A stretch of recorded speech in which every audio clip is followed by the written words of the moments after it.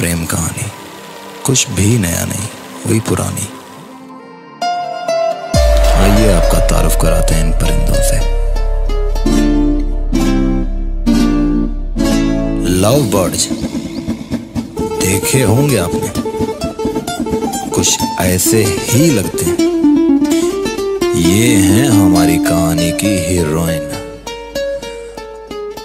और ये हैं हमारे हीरो।